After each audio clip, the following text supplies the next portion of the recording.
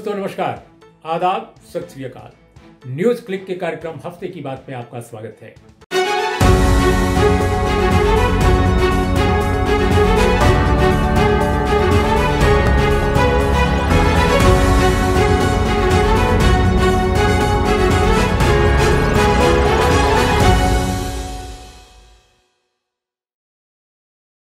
दोस्तों आज हम दो बड़ी खबरों पर बात करेंगे, जो देश की एक बहुत बड़ी खबर है, जिसको पिछले कई दिनों से जिसके बारे में मैंने यूँ कहा जाए कि उस खबर को लेकर बारात निकल गई थी, वैक्सीन की बारात। जहाँ भी वैक्सीन जाती थी, डिब्बे में बंद करके या बड़े बड़े ट्रकों पर एक खास ढंग के वातावरण में, ताकि वो, क्योंकि उसको बहुत ठंड चाहिए, बहुत ज़्यादा उसका टेम्परेचर नीचे होता है तो ऐसे जब भी वो बॉक्स उतरता था कहीं तो लोग ढोल पीटते थे तमाम तरह के गाने गाते थे। कई जगह डांस हमने देखा, राजस्थान में जैसे देखा, लोग डांस बजा रहे हैं, बांसुरी बजा रहे हैं और तमाम तरह के उत्सव हो रहा था। तो उत्सव धर्मी देश है और उसमें हमारे शासन की तरफ़ से इस उत्सव धर्मिता को काफ़ी बढ़ावा दिया गया और ऐसा लगा कि वैक्सीन लोगों को जो उपलब्ध कराई जा रही है, उसके पहले वैक्सीन की बारात निकाली जा रही है। तो आज वो अंजाम तक पहुँच गई और वैक्सीन का आज पहला दिन था। 3006 केंद्रों पर इसकी शुरुआत हुई। दोस्तों, वैज्ञानिकों के काम को हम सैल्यूट करते हैं और निश्चित रूप से विज्ञान के मामले में हम कोई अफवाहबाजी, किसी भी तरह की भ्रामक सूचनाओं को हम उसको तवज्जो नहीं देते। लेकिन आज एक अजीब मामला सामने आया। कि दो तरह की जो वैक्सीन है अपने देश में, एक कोवैक्सीन जो भारत बायोटेक ने बनाई है और कोविशील्ड जो सीरम इंस्टीट्यूट जो पुणे का है जिसने ऑक्सफोर्ड के रिसर्च के आधार पर उनके कोलेबोरेशन से जो प्रोड्यूस किया है, इन दोनों में सरकारी एजेंसियों को यह तय करना है कि किसको कहाँ कौन सी वैक्सीन मिलेगी। ये आपके ऊपर निर्भर नहीं है या जिसको ये सर्विस दी जा रही है, उसके ऊपर निर्भर नहीं है कि वो कौन सी वैक्सीन ले। फ़िलहाल अभी। तो ऐसे में दिल्ली के कई अस्पतालों में जो भारत बायोटेक की जो वैक्सीन है, जिसका नाम कोवैक्सीन है, उससे लगाया गया। इस पर रामनोर लोहिया अस्पताल, जो देश का बहुत नामी अस्पताल है, वहाँ के जो रेजिडेंट डॉक्टर्स हैं, उन्होंने विरोध किया। और उन्होंने कहा कि हम इस वैक्सीन को नहीं लेना चाहते, हमें सीरम इंस्टीट्यूट वाली जो वैक्सीन है कोविशील्ड उसको लगाया जाए हम उसके लिए तत्पर हैं, तैयार हैं। तो इसको लेकर एक अप्रिय स्थिति पैदा हो गई। मुझे लगता है कि ये मसला डॉक्टर्स और सरकार के बीच का है, उनको निगोशिएट करके और इन चीज़ों को हल करना चाहिए। लेकिन ये हम बिल्कुल साफ़ साफ़ ज़रूर कहना चाहेंगे कि वैक्सीन दुनिया भर में इसे माना जाता है, वैज्ञानिक भी मानते हैं और जो डेमोक्रेसी जिन देशों में बहुत मैच्योर है, वहाँ के अवाम, वहाँ के शासन, वहाँ की एजेंसियाँ सभी मानते हैं कि ये एक वॉलेंटरली यानी आपके ऊपर निर्भर है कि आप कैसी वैक्सीन लेते हैं, क्या चाहते हैं, लेते हैं या नहीं लेते हैं। ये भी आपके ऊपर निर्भर है। तो ये चीज़ मुझे लगता है अपने देश में भी उसका सम्मान होना चाहिए। ये जो मेडिकल क्षेत्र की जो नैतिकता है, उसका एक सम्मान ज़रूर किया जाना चाहिए। ऐसा बहुत सारे लोग कह रहे हैं और स्वयं डॉक्टर सब तो कह रहे हैं। तो एक तो ये एक विवाद शुरू में ही पैदा हो गया। हम मानते हैं कि इस विवाद का ज़रूर सरकार को और डॉक्टर्स को हल करना चाहिए, जिससे समाज में किसी भी तरह की गलतफहमी, खासकर मेडिकल साइंस को लेकर, रिसर्च को लेकर न बने। जहाँ तक तीसरे चरण के ट्रायल का प्रश्न है, उसको लेकर भोपाल से लेकर दिल्ली तक, पुणे से लेकर हैदराबाद तक बहुत सारे सवाल उठे हैं। उस पर भी शासन को चाहिए कि देश की आवाम को, जनता को साफ़ साफ़ बताए कि क्या स्थितियाँ हैं, क्या नहीं है, जिससे लोगों के दिमागों से किसी भी तरह का, उनके दिमागों में कंफ्यूजन न रहे। दोस्तों, अब हम आते हैं ये वैक्सीन की बारात जो है, इसके बाद। आमतौर पर अपने देश में वैक्सीन और वैक्सीनेशन ये दो शब्द चल पड़े हैं टेलीविज़न में भी अखबार में भी अंग्रेज़ी में भी हिंदी में भी तमिल में भी तेलुगु में भी मराठी में भी मलयालम में भी। लेकिन अपने देश में हिंदी में और और मैं समझता हूँ शासकीय एजेंसियाँ भी इसको एडॉप्ट कर, करती रही हमेशा। टीका बहुत पॉपुलर शब्द है दो अक्षर टीका। और वैक्सीनेशन को टीकाकरण कहते हैं। तो हम टीका और टीकाकरण अपने इस हिंदी कार्यक्रम में कहें तो ज़्यादा बेहतर होगा।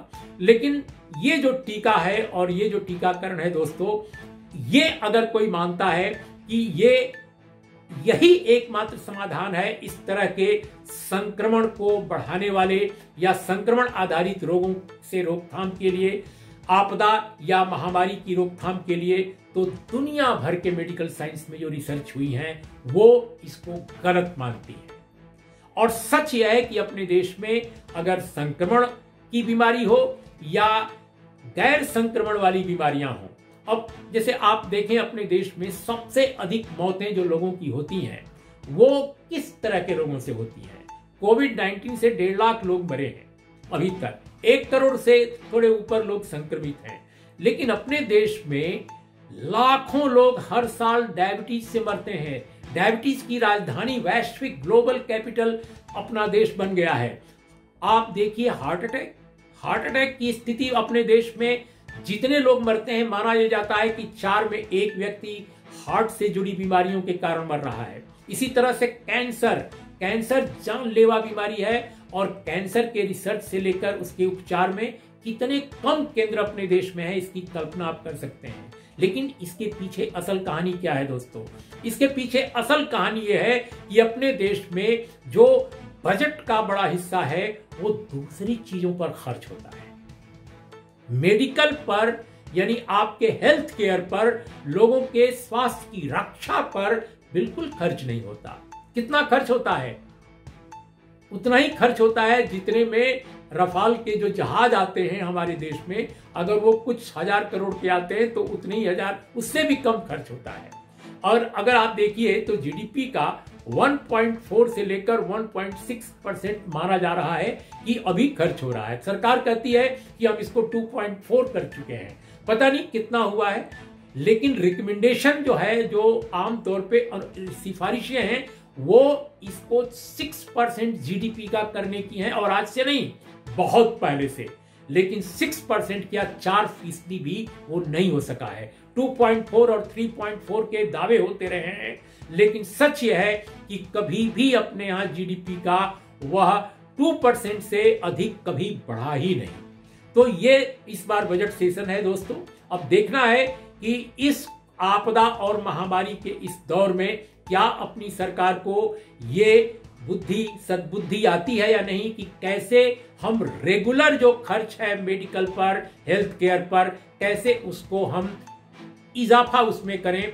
और वो एक परमानेंट व्यवस्था हो। ये नहीं कि आप यहाँ एक आपदा आई तो आप दौड़ने लगे, आप आप चीखने लगे, आप चिल्लाने लगे। आपने कहा, हमें अस्पताल नहीं है, हमारे पास ऑक्सीजन सिलेंडर नहीं है, हमारे पास वेंटिलेटर नहीं है, हमारे पास डॉक्टर नहीं है, हमारे पास किट नहीं है मेडिकल के। तो ये चीज़ें मुझे लगता है खत्म होनी चाहिए। और दुनिया के ऐसे कुछ मुल्क जिन्होंने नजीर पेश किया है कि कैसे कोविड 19 को फाइट आउट उन्होंने किया, उनमें कुछ छोटे देश भी हैं, कुछ बड़े देश भी हैं। तो उन देशों से हमें सबक लेना चाहिए। उदाहरण के तौर पे वियतनाम, आप सोचिए कितना एक चीन के बिल्कुल पड़ोस का देश है, लेकिन उसने अपने मुल्क में लोगों की जो मौत है, वो होने नहीं दी। बहुत कम लोग मरे दुनिया में, सबसे कम जो लोग मरे हैं, उनमें वियतनाम है। उसने संक्रमण को फैलने नहीं दिया। इसी तरह से क्यूबा और इवन चीन ने भी कोविड 19 जहाँ सबसे पहले फैला जा, जो बताया जाता है उसने भी बहुत कम दिनों में उसे काउंटर किया और दुनिया के ज़्यादातर जो मुल्क हैं जहाँ बहुत ज़्यादा मौतें हुई हैं उनके मुकाबले बहुत कम मौत चीन में हुई। तो हमें मुझे लगता है कि ठीक है आपस की प्रतिनिधिता अपनी जगह है लेकिन अगर कोई मुल्क बेहतर परफॉर्म करता है चाहे वो कोरिया हो, नॉर्थ कोरिया हो, चाहे वो वियतनाम हो, चाहे वो चीन हो, चाहे क्यूबा हो, कोई भी देश, फिनलैंड हो, कोई भी देश हो, न्यूजीलैंड हो, हमें उनसे सबक लेना चाहिए और सबसे प्रमुख बात है कि कैसे जीडीपी का कम से कम कम से कम चार पाँच फ़ीसदी हम अपने हेल्थ केयर पर खर्च करें। ये आज अपने समाज को, अपने देश को, अपने देश की एजेंसी को, सरकार को ये ज़रूर तय करना चाहिए। पहली बात तो मैं ये करना चाहता हूँ तो इससे ये वैक्सीन को लेकर जो एक मेला, एक बारात का दृश्य पेश किया गया ताकि लोगों को लगे कि बहुत कुछ देश में हो रहा है, लेकिन सच यह है कि हमारे अस्पतालों की हालत आप देखिए तो वाकई ऐसा कुछ नहीं हो रहा है। अस्पताल बुरी हालत में है। लोगों में अगर इम्यूनिटी आप देखते हैं, लोग कहते हैं कि ये हार्ट इम्यूनिटी आई है लोगों में। तो ये जो अगर आई है तो ये एक प्राकृतिक या एक अपनी जो परिस्थितियाँ अपने देश की हैं परिस्थिति जन्य जो कारण है, वो इसके लिए बड़े फैक्टर हैं। न कि हमारी दवा दारू की व्यवस्था इसके लिए महत्वपूर्ण फैक्टर है। तो दवा दारू की व्यवस्था मेडिकल केयर जब तक बेहतर नहीं होगा, तब तक हम इसको स्थायी तौर पे फाइट आउट नहीं कर पाएँगे। दोस्तों, और हमारी दूसरी खबर है किसान आंदोलन के मुद्दे पर। किसान आंदोलन में आज एक नया डेवलपमेंट सामने आया है। आज बावनवा दिन है किसान आंदोलन की। इन सर्द रातों में हज़ारों लोग सड़क पर हैं, आसमान के नीचे। आज एक ऐसी स्थिति पैदा हुई है किसान आंदोलन के मोर्चे पर, जो हम अमूमन देखते हैं कि विपक्ष के नेताओं को या अपने किसी विरोधी को, अगर इस सरकार को, सत्ताधारी जो संरचना है उसको उनको परेशान करना होता है, या उनको दबाना होता है, या उनको किसी तरह से अपने शिकंजे में लेना होता है तो जो स्ट्रेटजी ये सरकार एडॉप्ट करती है, कुछ वैसी ही स्ट्रेटजी आज किसान आंदोलन के मोर्चे पर दिखाई पड़ी। और वो ये कि एक सज्जन है बलदेव सिंह सिरसा। ये हरियाणा के किसान नेता हैं और लोक भलाई इंसाफ वेलफेयर सोसाइटी के अध्यक्ष हैं। ये भी उन नेताओं में हैं जो निगोशिएशन में भाग लेते हैं। यानी किसान आंदोलन के साथ जितने लोग जुड़े हैं, उनमें एक प्रमुख नेता हरियाणा से ये भी हैं। तो ये बलदेव सिंह सिरसा सहित चार लोगों को एनआईए ने नोटिस दिया है। अब आप कल्पना कीजिए, एनआईए नोटिस क्यों देती है? तो इन लोगों पर सरकार के खिलाफ, भारत राष्ट्र के खिलाफ किसी कथित साजिश में लिप्त होने का एक मामला है। कोई पहले से चली आ रही केस है उस केस में ये सिख फॉर जस्टिस का कोई केस है, उसमें पूछताछ के लिए इन लोगों को ही बुला दिया है। अब आप कल्पना कीजिए कि इसके पीछे क्या कहानी हो सकती है। इसमें एक सज्जन पत्रकार भी हैं, जसवीर मुक्तसर, और भी लोग हैं। कोई एक टूर और ट्रेवल ट्रांसपोर्ट एजेंसी के हैं, कोई एक और, कोई दूसरा धंधा करते हैं। इन लोगों में कुछ लोग ऐसे भी हैं जो जो धरना स्थल है किसानों का, वहाँ लंगर चलाने के काम में भी जुटे हुए हैं। तो आप देख सकते हैं कि क्या क्या हो रहा है। तो एनआईए की नोटिस को लेकर इन नेताओं ने कहा है कि वो अपियर नहीं होंगे, बलदेव सिंह सिरसा ने कहा है कि वो कल तो हरगिज नहीं होंगे। और ये मामला मुझे लगता है कि कहीं ना कहीं विक्टिमाइज करने का एक एक एक एक आंदोलन के लोग को कमज़ोर करके उसको तोड़ने के लिए, उसको एक तरह से बेहाल करने के लिए ये एक सरकारी एक एक लगता है कि ये भी एक तरीका है जो अपने विपक्षियों और विरोधियों को सरकार दबाने के लिए अडॉप्ट करती है, कुछ वैसा ही। तो ये बिल्कुल लास्ट में मैं यही कहूँगा कि 26 जनवरी के मद्देनजर सरकार को प्रोवोकेटिव नहीं होना चाहिए और सरकार को चाहिए कि वो बाकायदे अप्रिय स्थिति न पैदा होने दे। निगोशिएट करे। पहले दिन से नौवें दिन की, नौवें चक्र की जो वार्ता हुई पहले चक्र से, उसमें कोई परिणाम निकलता नहीं नज़र आया।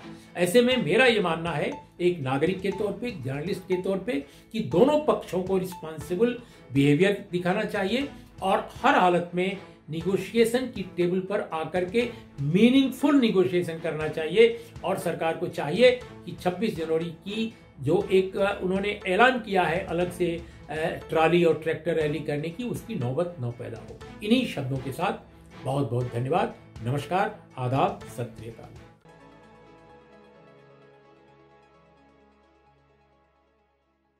you